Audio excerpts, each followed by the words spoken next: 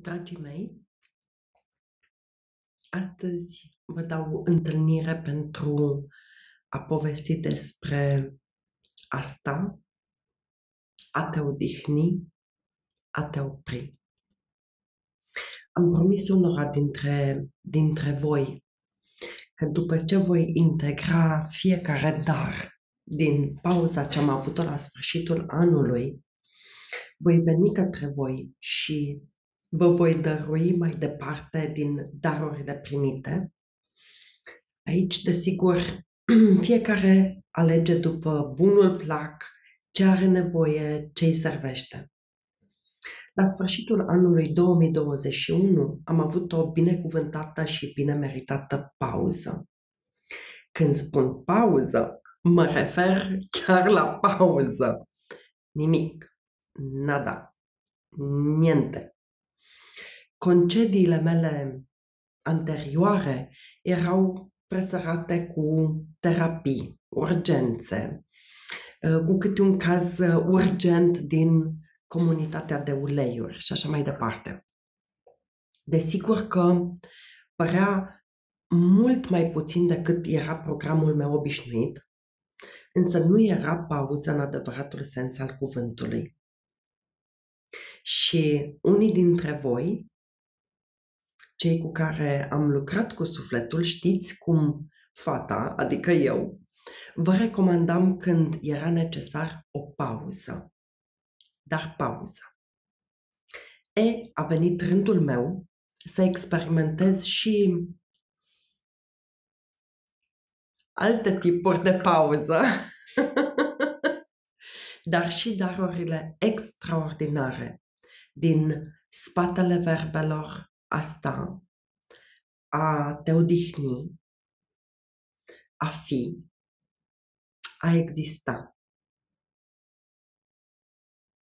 No, toate bune și frumoase și dacă cumva vă fac poftă cu, cu acest video și vă trece prin cap să, să exersați, vă ofer câteva ancore importante. Redefiniți în primul și în primul rând verbul asta. Dacă prin vocabularul vostru personal uh, se, se perindă sinonime precum lene, sunt leneșă, uh, inutilă, um, putoare, limba noastră minunată, da? sau orice alt sinonim, rescrie definiția ta. Nu ce ai primit de la alții, nu ce ai auzit.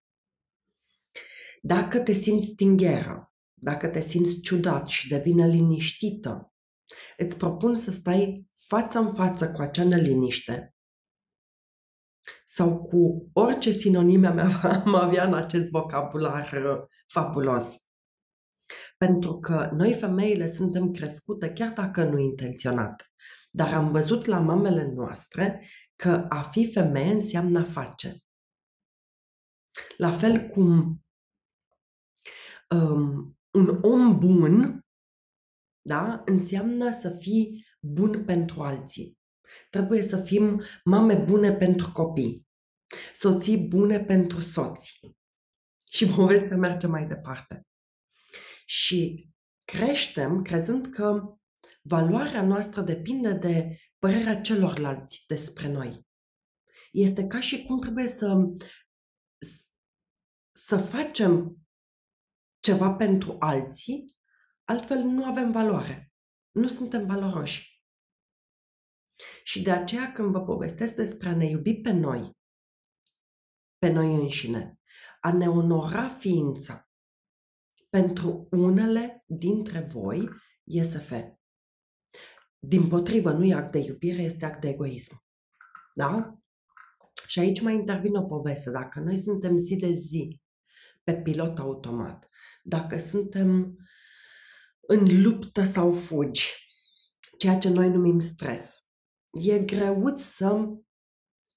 Uneori e greu să ne imaginăm doar că scoatem ștecherul din priză. E, imaginați-vă că atunci când noi suntem relaxați, corpul nostru nu mai produce atât de mult cortizol și adrenalină, Și acest lucru ne ajută la menținerea glicemiei în linie, a inflamației la distanță. Încerc să fiu compliantă.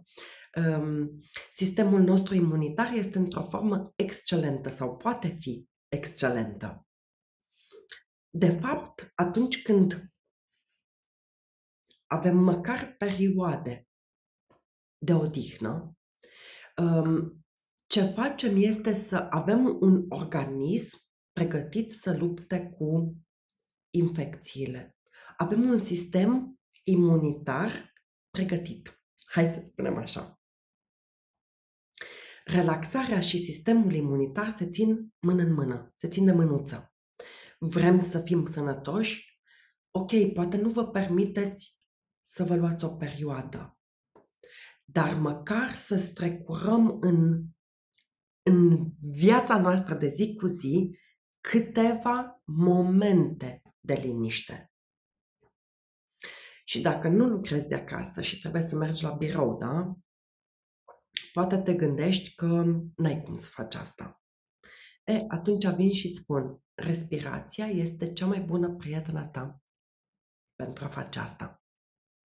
Și dacă suntem la început în acest sport, sau poate doar ne imaginăm că îl practicăm. Sportul de asta. La asta mă refer. Da? Îți propun să încep dimineața. Percoare. Imediat după ce te-ai trezit, când mintea nu derulează gânduri cu viteza luminii. Și aici forma tu o alegi, că vrei rugăciune, meditație sau poate doar pur și simplu să stai într-un spațiu liniștit cu tot ce trece prin cap, fără a judeca. Ce am uh, conștientizat eu este că e atât de multă putere în asta. Pentru că în această perioadă de odihnă, de, de relaxare, de stat, cuvinte cheie, am avut cele mai mari aha moments din toate vremurile am primit claritate, deși nu mi-am propus decât să învăț arta de asta. Așadar, te invit să împărtășești cu mine în comentarii ce te-a atins, ce, cu ce ai rezonat cel mai mult din ce ți-am povestit.